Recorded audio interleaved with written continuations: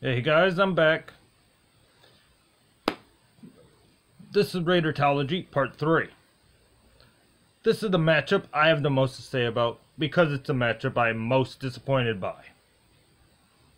Number 3, Tennessee. Number 14, Wright State. Tennessee, I thought, was the giant to be beat. I thought they were the most beatable team who was going to be in the top, you know, 16 seeds, or 1 through 4 area, who did everything you want in a in a giant who's able to be beat by the giant killers for lack of a better term. And so i was watching very much to see what matchup that they got. And somehow the committee blessed them with Wright State tennessee gives up a lot of rebounds they're not great at shooting they just seem like a team who is waiting to be upset. And I think if they were on the four seed, they would. But they got that three seed because they ran through deep into the championship game of the SEC and were able to.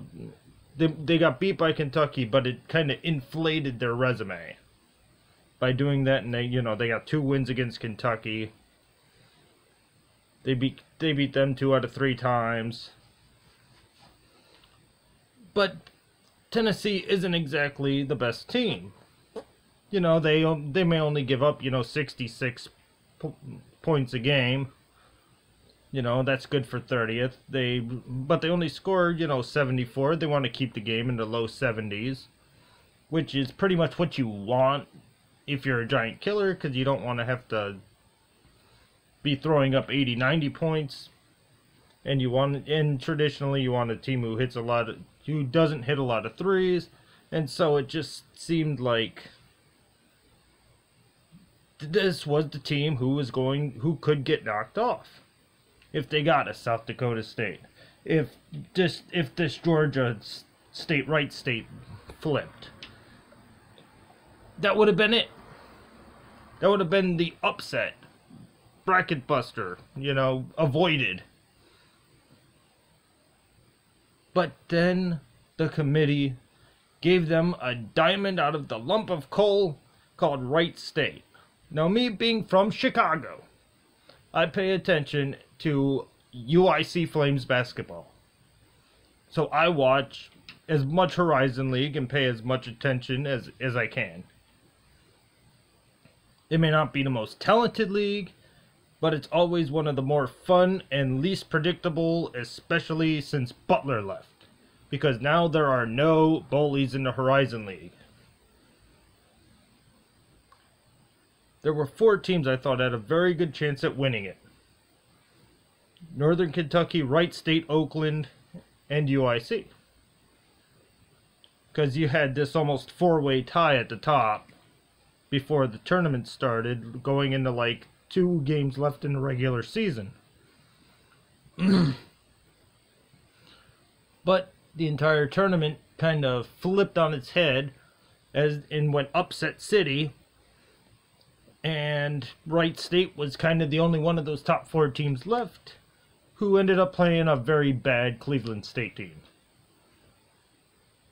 In the tournament, Wright State played as as the two seed, they played the seven seed, the six seed, and the eight seed.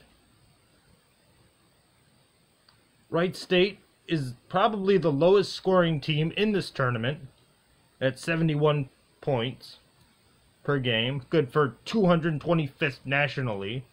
They're 221st in three point percentage, 200 200th or worse in all but four shooting categories. And they're the team who gets the most beatable giant out there. And I don't know how that happened. It is a blessing for Tennessee that they got Wright State and not, say, a South Dakota State where Mike Daum would just go off on them. So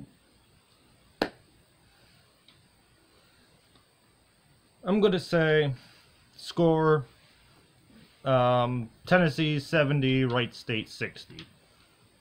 Uh, Wright State's offensive deficiencies show up late. You know, uh, Tennessee hits a hits a few free throws, ices the game, and that's a wrap.